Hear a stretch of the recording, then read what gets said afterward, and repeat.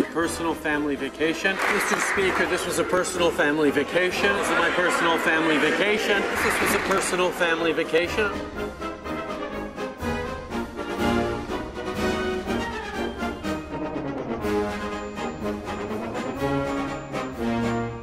It's bad enough that the Prime Minister chose to vacation at one of the most expensive destinations in the world when taxpayers have to pay.